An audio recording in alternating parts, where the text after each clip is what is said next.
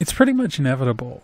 Whenever there's a mass shooting in the US where attention lasts for more than a couple of days because some shootings just get swept under the rug at this point, they're frequent enough, we end up with some variation on the theme of thoughts and prayers that only thoughts and prayers can protect our students, only thoughts and prayers can protect our military bases where presumably there's military security who is armed and of course, only thoughts and prayers can protect those concerts in Sin City.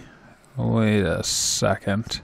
Specifically, whenever there's a school shooting, the religious right can't wait to do a victory dance and talk about how this is because you took religion out of school. You took God out of the classroom and now he won't protect you, which basically just makes God seem like an asshole. It also makes me wonder why the hell there are shootings in churches if religion is the protectorate.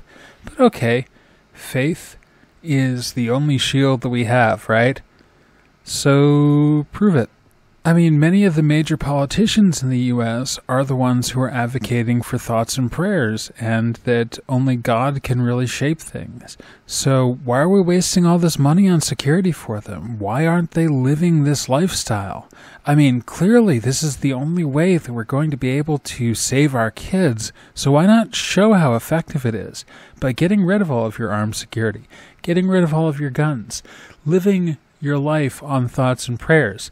I mean, thoughts and prayers are going to make our kids safe, right? So, why are you wasting all this money on security systems and armed details and other things that are ultimately just redundant and cost taxpayer money?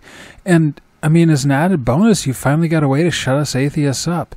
If God is powerful enough to stop a madman with a gun when all these security systems fail, when background checks fail, when gun control fails, then obviously we would have to go back and rethink our own belief structure, right? So, I mean, what's there to lose?